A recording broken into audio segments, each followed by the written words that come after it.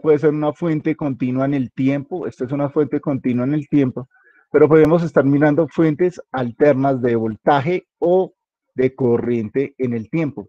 Lo que me interesa es estar probando en este momento lo que son fuentes alternas para ver su comportamiento del diodo. Entonces podría estar trayendo una fuente de estas que sea como alterna, por ejemplo esta, ¿vale? Y cambiar los voltajes, ir cambiando los voltajes. Si coloco esta, estas son fuentes continuas, ¿sí? Continuas en el tiempo, esa no me serviría. Traer, por ejemplo, una tierra sería bueno por aquí. Traemos una tierra que más podríamos estar trayendo de aquí, la fuente, bueno, graficación. Ahorita vamos a, tomar lectura de la graficación cuando se enfrenta a esto ante un diodo. Y vieron donde leí acá, donde están los transistores, el símbolo de transistores le doy y podríamos ir sacando un diodito. Sí, este no, este no, este. Este es un diodo Zener, este tampoco, por acá. Me interesa un diodito por ejemplo, este diodito, ¿vale? Para montar nuestro circuito, estos son los componentes que requiero para el día de hoy, como ir montándolo y ver la graficación de, esto, este elemento. ¿Qué es la idea? Pues la idea de todo esto es que podamos ver por aquí en la, en la, en la gráfica, ¿sí? ¿Qué va a estar pasando si tenemos un solo diodo? ¿Se acuerdan cómo están compuestos los diodos en nuestro circuito de dos diodos? Eran así. ¿Qué va a pasar en el circuito si está compuesto por dos diodos y necesitamos ingresarle a esto otro elemento que era la que? La resistencia, un elemento pasivo. Entonces traigamos una resistencia por ahí. Una resistencia lo teníamos compuesto como el circuito por acá, ¿vale?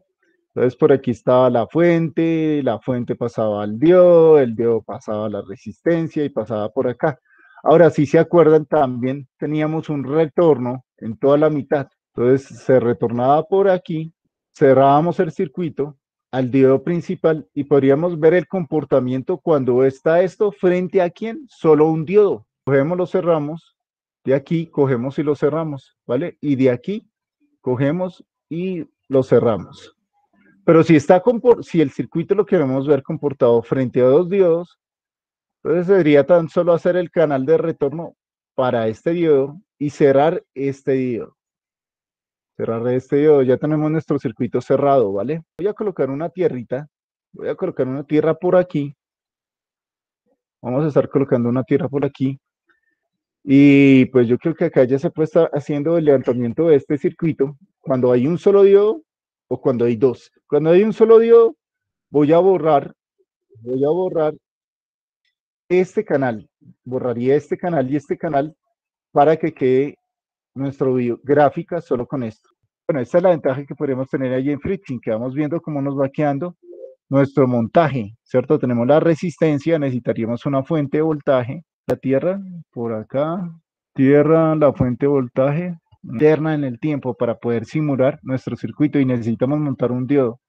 ¿Y el diodo dónde estaría montado? Mírenlo, acá veo el diodo, un diodo rectificador o un diodo emisor de luz, un diodo emisor de luz, bueno, podría ser este, o podría ser uno de estos dos elementos. Listo, tendríamos este o este elemento, este o este elemento, digamos que este viene por aquí, y si vienen con dos diodos para hacer el montaje, dos dioditos aquí, ¿vale? A todo diánodo. Esta la ventaja del FreeSync es que puede estar por protobar o montaje esquemático. Podríamos tener de pronto un montaje esquemático también.